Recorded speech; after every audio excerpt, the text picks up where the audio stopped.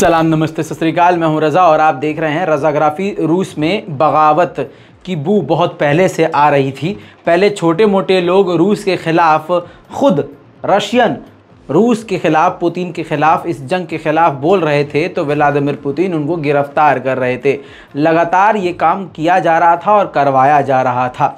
चाहे पत्रकार हों, एंकर हों या कोई भी हों जो भी रूस के राष्ट्रपति व्लादिमिर पुतिन के खिलाफ कोई भी बयान दे रहा था, तुरंत उसको गिरफ़्तार किया जा रहा था। लेकिन इन सब के बावजूद अब बड़े बड़े लोग पुतिन के खिलाफ सामने आए हैं। रूस की पॉप स्टार सामने आई हैं और उन्होंने अब कह दिया है कि व्लादिमिर पुतिन गलत डायरेक्शन में बढ़ रहे हैं और वो एक भ्रमक लड़ाई, एक अपने दिमाग से क्रिएट किया हुआ है उन्होंने इस जंग को और ज़बरदस्ती वो बेगुनाह लोगों को और बेगुनाह सैनिकों को मार रहे हैं और ये ज़बरदस्ती की एक जंग चल रही है। व्लादिमिर पुतिन को ऐसा नहीं करना चाहिए और जल्द से जल्द इस जंग को ख़त्म करना चाहिए। आपको बता दूँ कि अभी तक इनके खिलाफ रूस ने कोई कार्रवाई नहीं की है, लेकिन अगर रशिया का रिकॉर्ड चेक किया जाए, सिर्फ़ पिछले से आठ से दस महीने का तो इनकी गिरफ्तारी तय है। वहीं आपको बता दूँ कि रूस की मिनिस्ट्री ने बताया है कि डोनेस के इलाके में यूक्रेन ने एक बड़ा एयर स्ट्राइक किया, जिसके अंदर छः से सात आम नागरिक मारे गए हैं।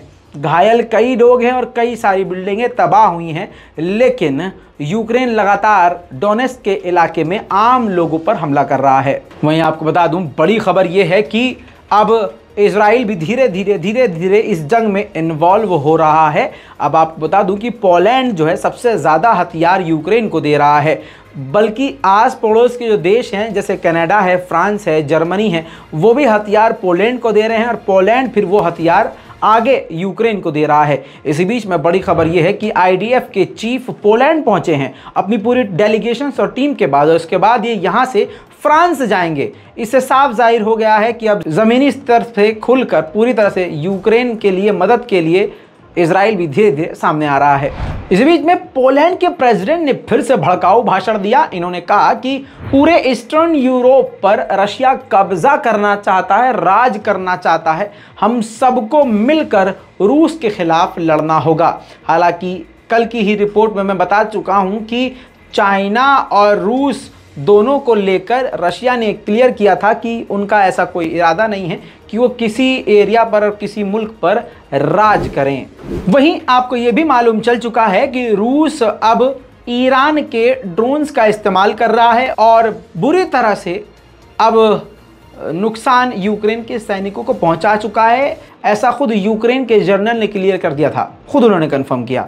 लेकिन अब आपको बता दूँ कि अमेरिका भड़क गया है, क्योंकि अमेरिका इस बात को जानता है कि अगर ईरान हथियार रूस को देने लगा तो काया पलट सकती है, इस जंग की तस्वीर बदल सकती है। तो अमेरिका को बौखलाहट आई और बौखलाहट में उसने कहा कि हमने अमरीकी जहाज़ों पर कार्गो शिप पर हमने पाबंदी लगाए रखी थी और ये कहीं नहीं जा रहे थे। लेकिन अब ये सामने बात आ गई है कि ये कार्गो प्लेन अब लगातार रूस की तरफ़ उड़ रहे हैं, जिससे ये क्लियर हो गया है कि रशिया की पूरी मदद ईरान कर रहा है, जिसके बाद हम ईरान पर और भी कड़ी पाबंदियाँ लगाने वाले हैं। वहीं स्विट्ज़रलैंड ने भी 36 एफ़ 35 विमान खरीदने का एग्रीमेंट कर लिया है, अमेरिका तैयार हो गया है और 36 एफ़ थर्टी फाइव विमान स्विट्ज़रलैंड को मिल जाएगा। यूरोप की यह कंट्री है और इस वक्त पूरी तरह से रूस के ख़िलाफ़ है। मौके पर चौका मारते हुए अमेरिका से एफ़ थर्टी फाइव विमान ले ही लिया है। वहीं इज्यूम की सिटी से पूरी तरह से रूसियों को निकाल दिया गया है। आपकी स्क्रीन पर ये तस्वीरें हैं। अब इज्यूम के लोग जो भाग गए थे, अब वापस अपने अपने घरों को आ गए हैं। दोबारा से इज्यूम यूक्रेन के शहर इज्यूम को बसाना शुरू कर दिया गया है। दोस्तों, आज पूरा दिन जर्मनी में ज़बरदस्त प्रदर्शन होता रहा। पिछली रिपोर्ट में बता चुका हूँ, फिर बता रहा हूँ, जर्मनी की नई तस्वीरें हैं आपकी स्क्रीन पर देखिए। जर्मनी खुलकर सबसे आगे जर्मनी और ब्रिटेन रूस के खिलाफ फुदक रहे हैं और जर्मनी का हाल देखिए। जर्मनी के लोग सड़कों पर हैं क्योंकि उनके बस की नहीं है। गैस, डीजल, कोयला अब वो ख़रीद सकें।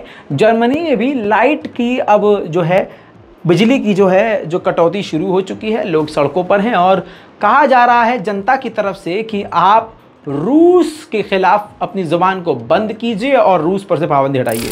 शाम जैसे ही रूस के फाइटर जेट हवा में नज़र आने लगे और यूक्रेन के कई हिस्सों पर गोलीबारी करने लगे।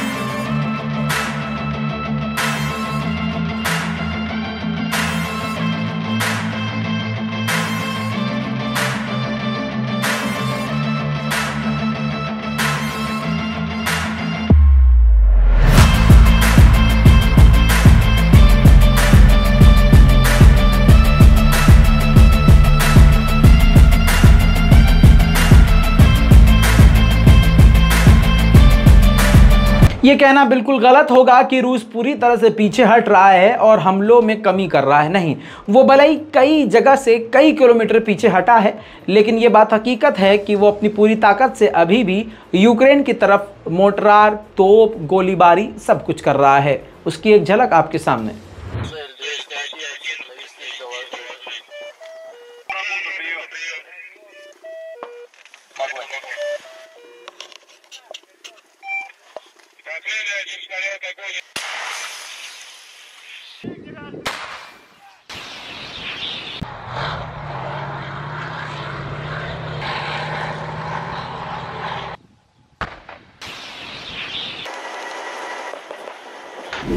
ये सब तो आपने देख लिया है, लेकिन मिग 28 का भी हमला आपको देखना चाहिए। रूस का मिग 28 यूक्रेन की तरफ़ हमला करते हुए।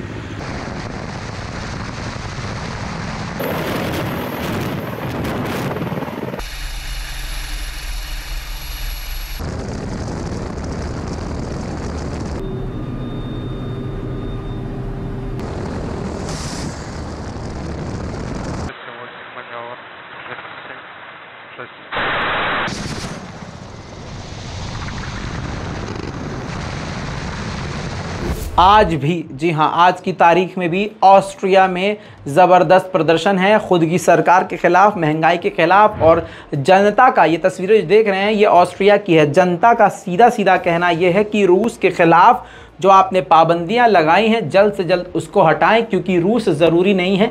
आपके लिए आपकी जनता ज़रूरी होनी चाहिए, रूस के ख़िलाफ़ पाबंदी जो आपने लगाई है, उसको हटाइए और रूस से गैस, तेल और कॉयल इम्पोर्ट करिए। दोस्तों अब मैं आपको बता दूँ कि रूस ने खारकीव के इलाके को छोड़ दिया, लेकिन खारकीव से जुड़ने वाले और दूसरे इलाके को जोड़ने वाले पुल को आज हमला करके पूरी तरह से तोड़ दिया। देखिए।